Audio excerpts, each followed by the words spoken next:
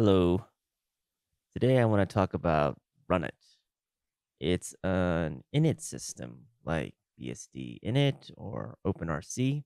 Now, I use Runit on most Linux systems I work on as an init system, but I'm on OpenBSD right now, which has a perfectly good init system of its own. However, I also prefer to use Runit to supervise a hierarchy of application services that I've written. I like to I like to have a separation between managing the hardware and the system services, like tweaking the CPU frequency, mail, NTP, and so forth, and the applications and services I write.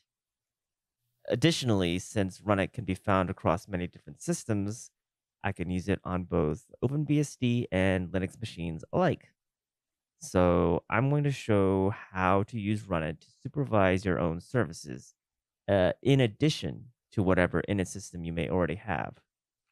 So to get started, let's install Runit.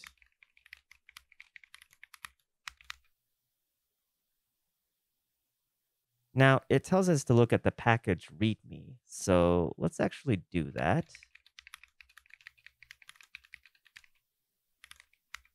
Uh, and it says to add this line to our rc.local script in order to start it at boot. But I don't want to do that because then there wouldn't be any service supervision. And I'd rather have this managed through OpenBSD's RCCTL utility. However, we're definitely going to be using this script, just not in this form. Uh, now let's check out the man pages for Runit.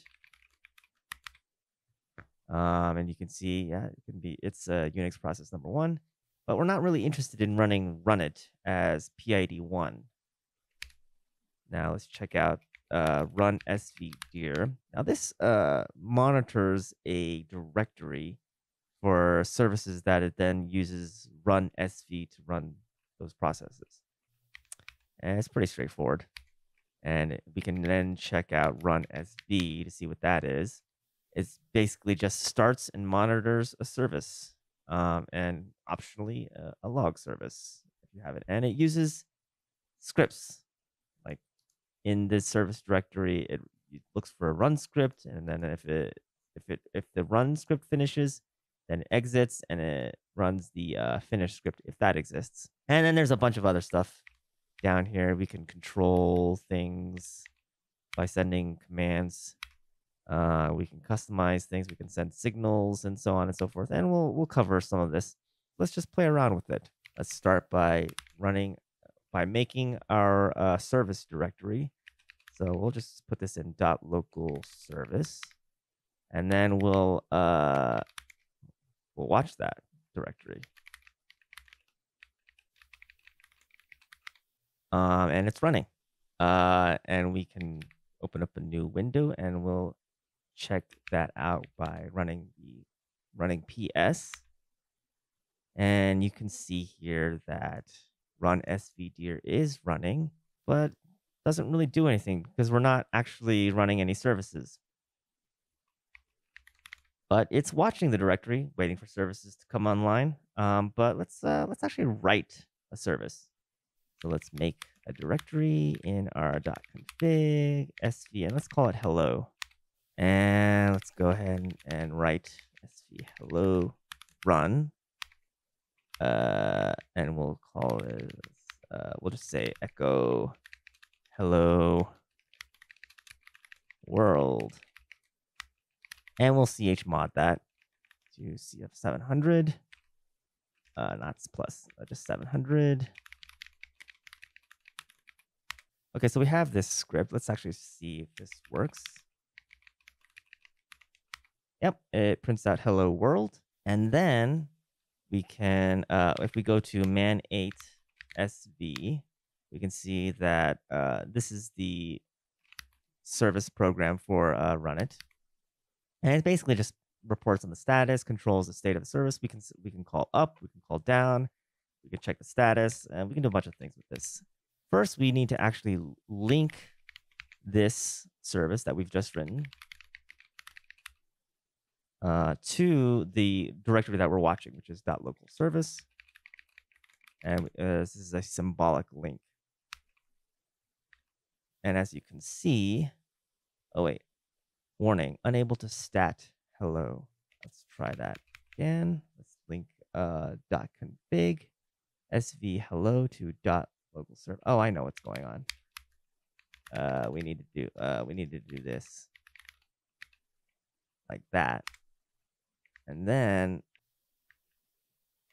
that yeah, super hello world is getting uh printed every second because after the run script exits, run svdir wait uh, well run it waits uh, a whole second before starting the service once again.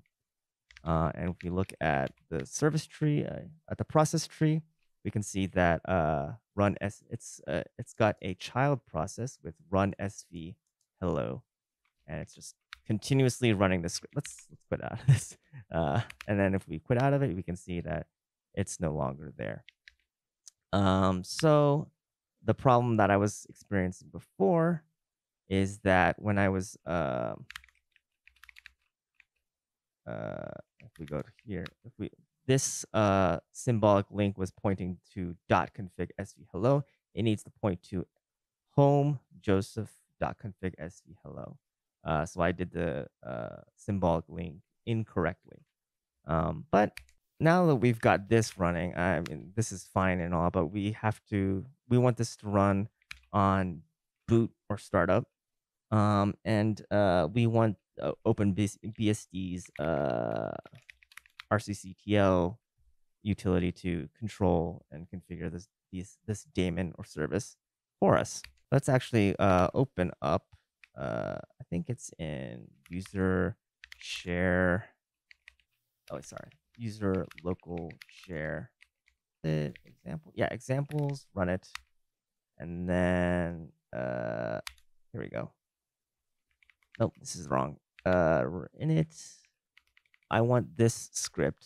Uh, it's got run svdir. It's running it on a directory with this uh, log. I'm not going to go into that, but if you go into uh, man run svdir, you can see one of the arguments is an optional argument called log. And what this basically does is that if you read from the process tree, it'll have this dot dot dot dot dot dot dot, dot message here. And then if there's an error, then it prints that out here. But uh, I don't I don't like to use this personally. I, I, I like to use log files. Um, but we do this script is useful. So let's see. Oh, maybe I'll just open up, quit out of this and go to my home directory and write to a file, run it, paste that in, and then path equals home bin path. And then also uh that local bin as well. Okay, um what does this do? Um, so if we go to KSH and we look up exec, uh, we have to scroll down quite a bit. Let's see. Okay. Um, let's continue. It's, it's down here somewhere. Okay, here we go. So if we use exec like th this one does here, what basically what happens is that the, the command is executed without forking, and then it replaces the shell process. So basically, uh, if you look at a at a process tree, there will be something like this, where it's running this shell script.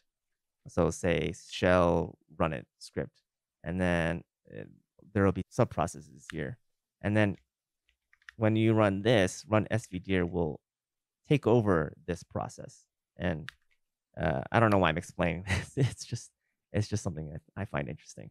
So anyway, um, this is my script. Let's go ahead and delete that.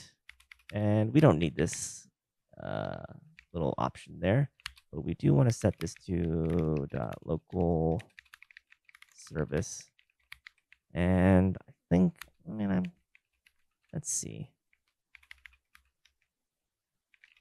Uh, bring this up a little and also add the home directory. Uh, maybe, uh, maybe I'll set that here. Home equals home Joseph. Okay. Um, and then quit out of this and then chmod to run it. Okay. Let's see. And then if we let's let's just run that. And you get the same thing. And we can check the process tree. And you can see that we don't actually see a run it script here.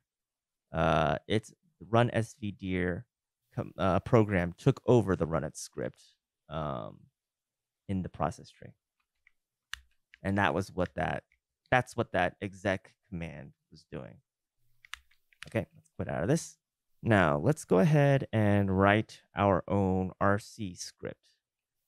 So I was showing uh, RCCTL, and that's just a utility to control the run control files. Um, and we can check out what that is by going to man RC. And then basically just scripts that are invoked on, on the system startup. Um, and you can see more information. Here's where all the system daemons uh, are usually located or services. Um, and they're basically they're basically just KSH scripts or Korn shell scripts, telling the system how to start, stop, and stuff like that. Um, and you want to look at rc.sub r or subroutine or script routine. Um, and basically, this tells you exactly what you need to do in order to write your RC script. Uh, you need to define the daemon variables. You need to define, uh, you need to source the rc.subroutine script, and you need to override some variables, um, and then call this at the very end. So let's go ahead and do that. Uh, let's call that run.rc. And this is a KSH script. And the daemon is home. And we'll put this in our local bin and call it run it. And then I want to run this as myself and not as root. And then I want to source the etc rc.d rc.subroutine file and we don't need reload so we'll set that to no and we want this to run in the background so we'll set that to yes and then we need to be able to find the program that we're running, which is run svdir. Otherwise, RCCTL won't know what to do. So we call that from user local sbin run svdir, and it's running against our home joseph local service directory. And then we call rc command uh, dollar sign one. And that should be it. And let me just look up my it script here again. I actually think this is wrong. Let me look up uh, user local. Let me look up that script from the package readme again by going to user local share doc and package readmes run it. Uh, right. Yeah, we need we need this. We need this, and not the other one. Uh, so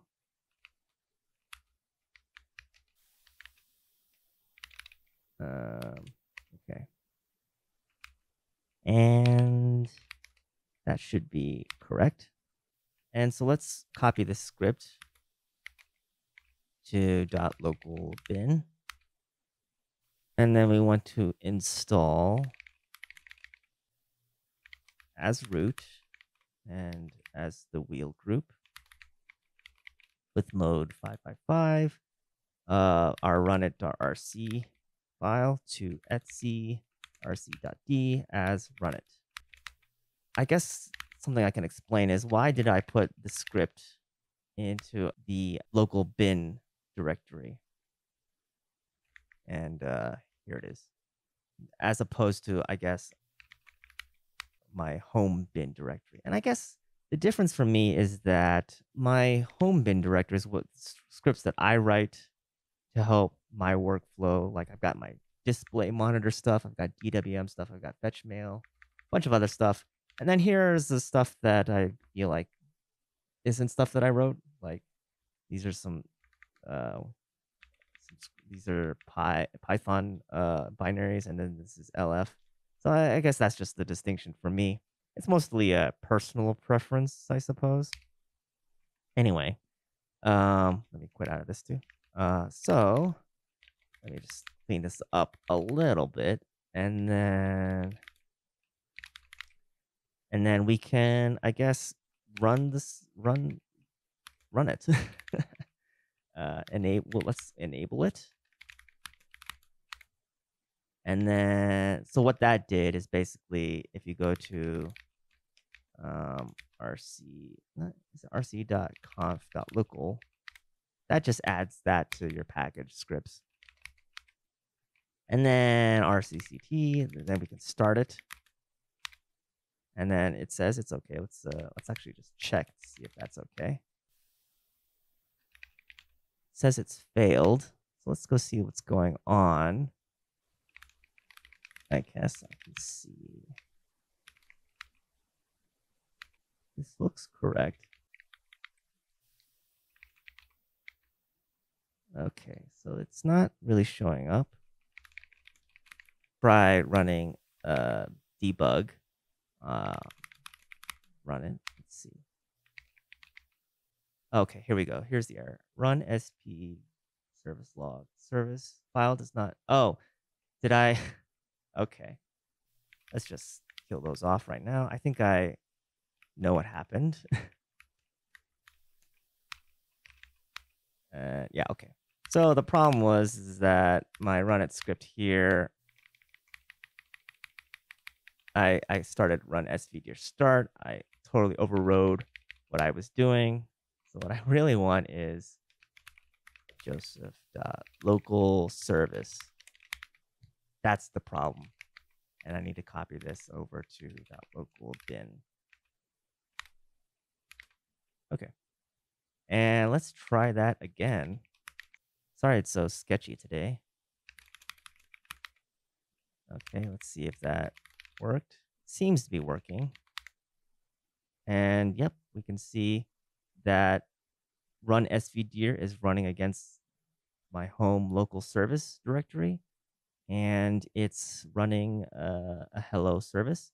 Now, if I remove this, uh, let's see, dot local service hello. I remove that symbolic link from the directory. Um, run sv should turn off. Let's see if it does it. Yep, it looks like it's like shutting down.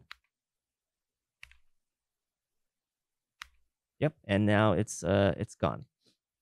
And that's about the gist of it. Now you can run your own services, and they basically all use shell scripts like this. Um, you can even look at this collection of run scripts here if you need help figuring how to write your own. They've got all sorts of uh, examples like DHCPD, they have fetch mail, they have PostgreSQL. So, yeah, a lot of stuff to look here. If you have any questions for me, be sure to check out my website, josephchoe.com. I'm on Twitter, GitHub, Reddit, and so on and so on and so on. Anywho, bye bye.